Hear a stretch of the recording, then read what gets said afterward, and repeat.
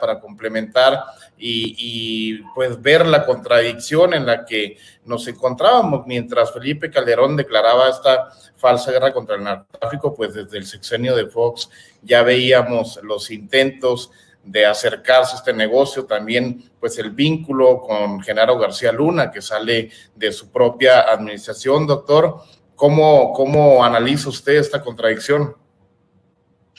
Pues mira, este Marcelino, Alina, y si por ahí se, conecta Jorge, eh, me llamó mucho la atención eh, el berrinche, porque no se puede llamar de otra manera, del señor Vicente Fox, que lanza una serie de twitters de agresiones al presidente de la República, pues simplemente porque exhibe lo que el señor Fox ha exhibido de manera permanente.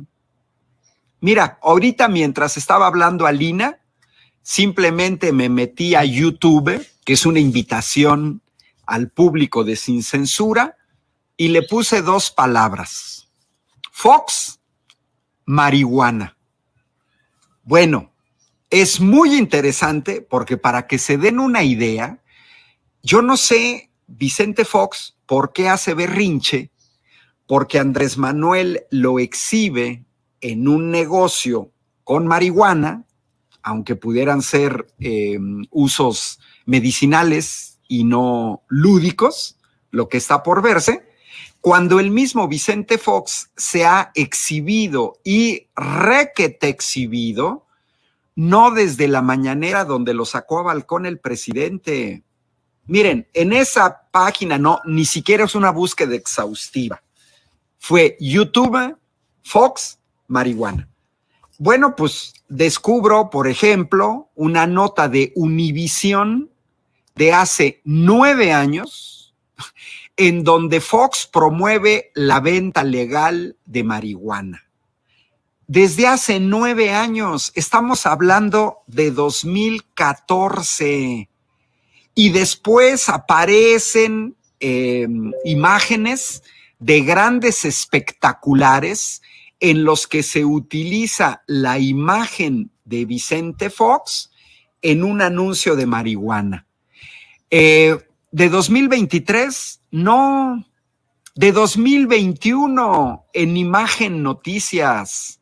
Y luego hace un año, Milenio, Fox inaugura negocio de marihuana en León.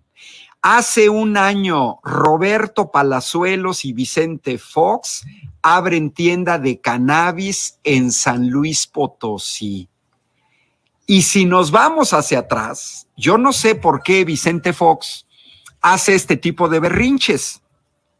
Cuando hace cinco años, el poquito, poquito menos de cinco años, el 17 de julio de 2018, una firma canadiense, Chiron Life Sciences, nominó a Vicente Fox como asesor y embajador. Y esta empresa señaló que la designación de Fox dará la oportunidad de promover los beneficios de la cannabis.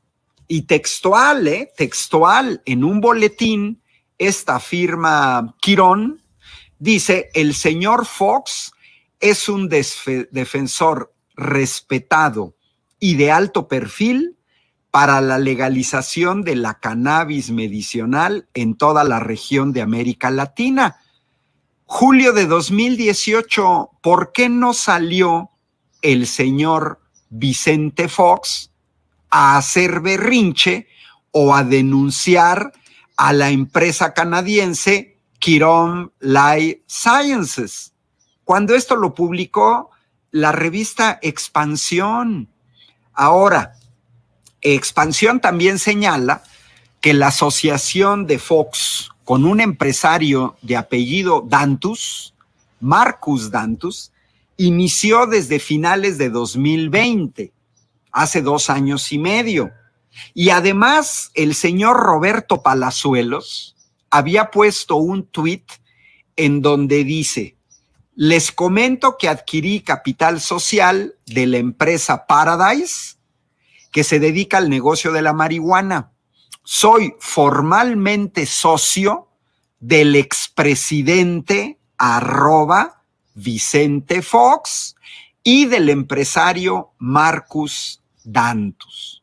Y bueno, Alina, eh, Marcelino, hay fotografías de Vicente Fox, muy sonriente, afuera de Negocios Paradise. Entonces, a mí lo que me sorprende es, ¿por qué hace berrinches? ¿Por qué pone twitters agrediendo al presidente? ¿Por qué señala que es falso lo que dijo el presidente? Acusa al presidente de mentiroso cuando, repito, hay espectaculares con la cara de Vicente Fox y que yo sepa, Vicente Fox nunca lo negó.